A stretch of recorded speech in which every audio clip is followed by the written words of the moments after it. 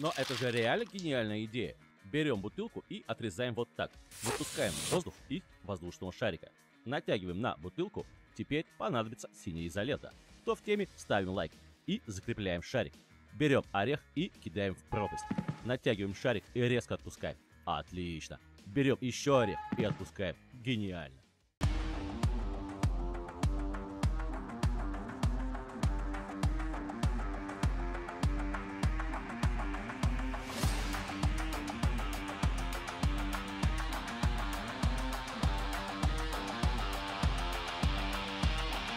Починить мебельную петлю? Отверстия разбились и шурупы не держатся. Ремонт простой. Берем вот такие фильтры. Отрываем, замеряем и расширяем отверстие сверлом по диаметру фильтра. Берем суперклей, заливаем в отверстие, затем вставляем фильтр из синтетического волокна. Заливаем клеем и немного подождем. Затем делаем отверстие под шурупы. Собираем в обратном порядке и получаем идеальный результат.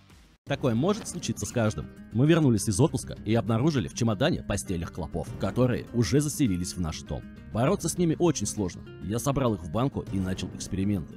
И случайно обнаружил, что обычный полисор убивает клопов и их яйца.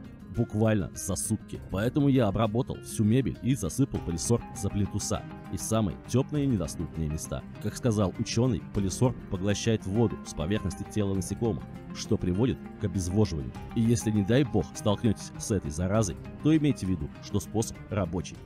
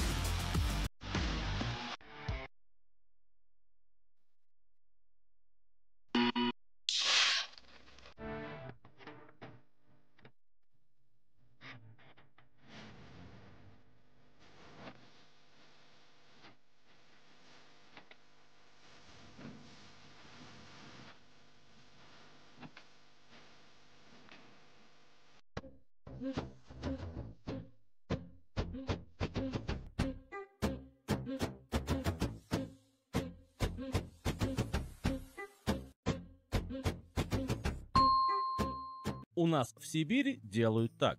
Угольный брикет помещается в банку, заливается любым топливом и оставляется в банке. Когда нужно, достают уголек и поджигают.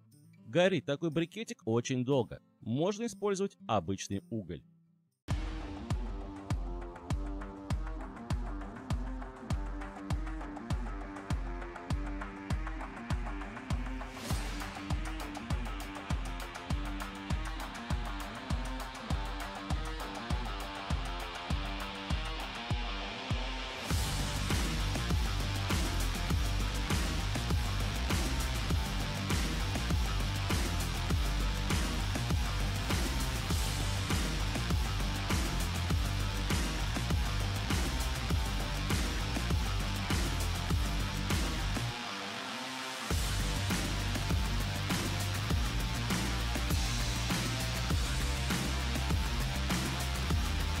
Рыбаки с Дуная показали дельные советы. Сейчас покажу.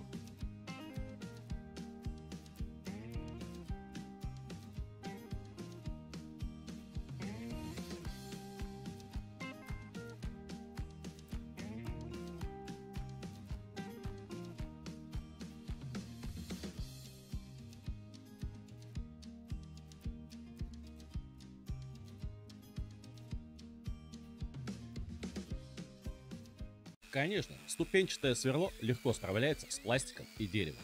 Но что, если взять, к примеру, металлический уголок советской эпохи толщиной 5 мм и протестировать сверла Кранц. Эти сверла изготовлены из высококачественной быстрорежущей стали, которая сохраняет свои свойства при высоких температурах. Мы без труда сделали одно отверстие. Но является ли это показателем качества? Давайте попробуем сделать 10 отверстий и посмотрим, что станет со сверлом. После 10 отверстий инструмент разрядился, но сверло не планирует сдаваться. Как видите, режущие кромки остались в отличном состоянии.